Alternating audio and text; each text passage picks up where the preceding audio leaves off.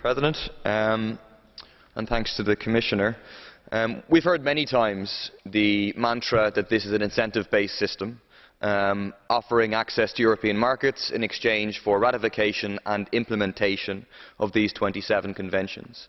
Uh, that only works if there is effective monitoring to ensure that there actually is implementation. That's the purpose of the question from the committee is to find out how that's going to happen. And I have to say, I don't think the Commissioner has yet really answered that question.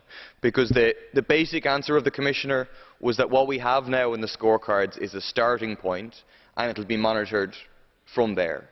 But if at this starting point we have scorecards that are full of lack of compliance with reporting requirements on multiple, multiple conventions, if we have repeated references in the scorecards to serious abuses of human rights, of labour rights and so on, how is that a starting point? I mean, the regulation in Article 9 explicitly says that a serious failure to effectively implement any of these conventions will be grounds not for these countries not to access GSP+.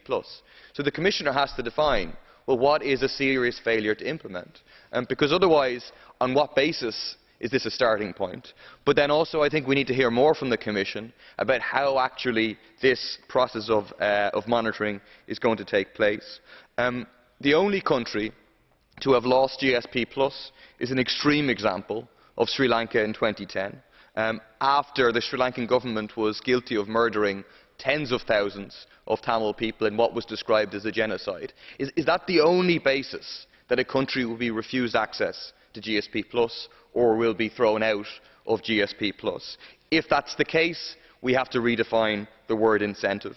Um, secondly, given that the scorecards are secret, uh, given that they're not uh, public, how can this be a transparent process? How can you have an input from civil society in the GSP plus applicant uh, countries? Um, I think you, you, need to have it public, you need to have a public debate.